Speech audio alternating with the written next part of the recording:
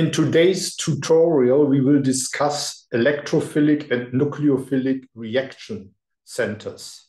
These are very important because most of the bond-forming reactions in organic chemistry are based on the interaction of an electrophilic and a nucleophilic reaction center. An electrophilic reaction center is uh, basically a Lewis acid, an electron pair acceptor, while a nucleophilic reaction center is a Lewis base, an electron pair donator per definition. Please don't confuse electrophilicity and electronegativity. For instance, as you know, fluorine is the most electronegative atom and we have three of those fluorine atoms with, the, with this CF3 group here in this molecule, actually, it is an ingredient of uh, the uh, anti-corona uh, drug Paxlovid. So the most electrophilic atoms within these molecules are those fluorides, and we have here a distinct negative partial charge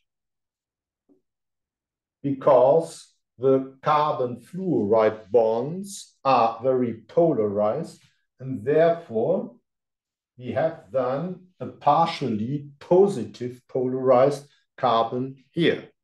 Such a carbon could be or should be um, an electrophilic reaction center. However, in the special case of um, fluoride substituted alkanes, it has a very low reactivity since the carbon fluoride bond is very, very stable. Perfluoro alkanes are known to be um, very stable and not reactive at all you know, the discussion about uh, uh, Teflon and partial structures of Teflon. So these are very persistent molecules in nature. And in future, I think we will try to avoid uh, to avoid those uh, deliberating uh, into in our environment. So where else do we have electrophilic centers? Well, a delta plus can be attributed to the carbonyl carbons. In this molecule, we have quite a few of those. And of course, also to this nitrile carbon. Where else do we have electrophilic centers? Well, those acidic hydrogens are delta plus. The hydrogens at the carboxylic acid amides. On the other hand, where do we have nucleophilic centers? Nucleophilic centers should have free electron pairs.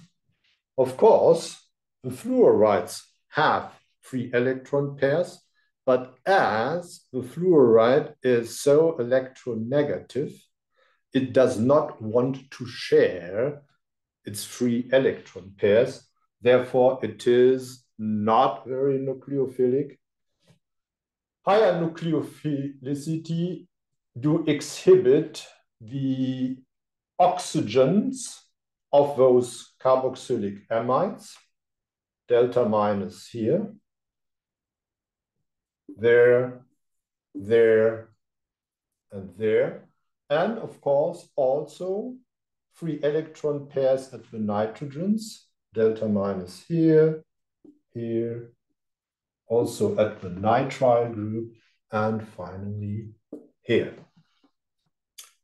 So that means at an carboxylic amide moiety, we have two nucleophilic centers and two electrophilic centers. And of course, then there is the question of selectivity. So let us draw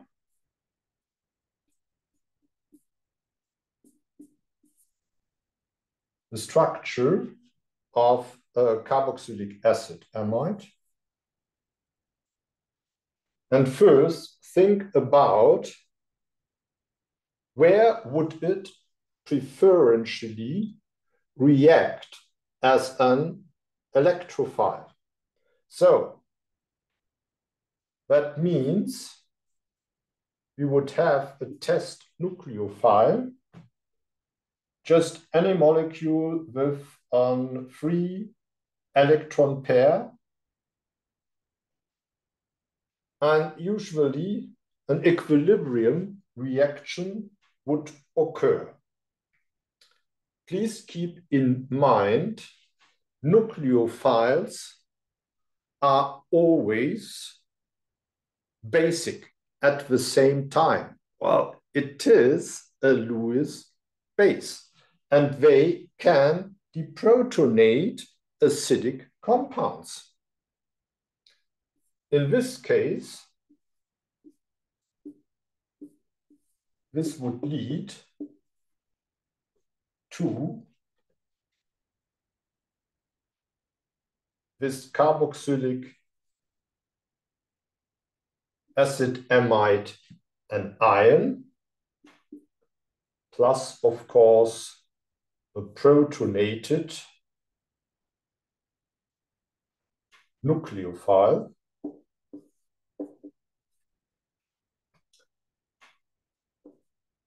And preferentially, it is deprotonated while it is kinetically favored because the deprotonation usually is a very fast reaction. And on the other hand, this anion is mesomerically stabilized. You can draw mesomeric structures, for instance, also with a negative charge at the nitrogen. On the other hand, let's look for the reactivity of a carboxylic acid amide with electrophiles.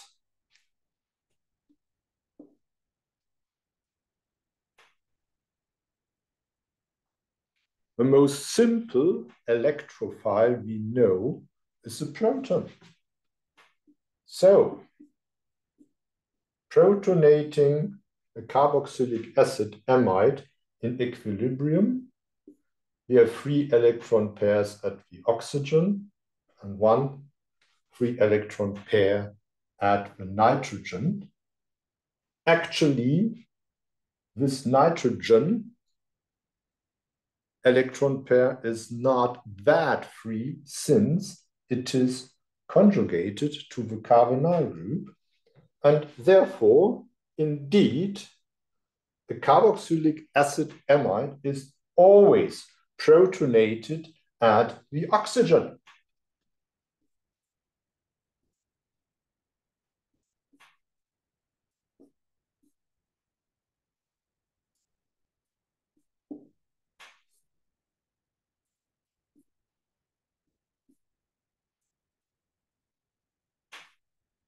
Since this is, again, mesomerically stabilized with mesomeric structures with also positive charge at the carbon or positive charge at the oxygen. And as you know, the truth, the structural truth, is somewhere in between. Thank you for listening. See you next time with the next video again.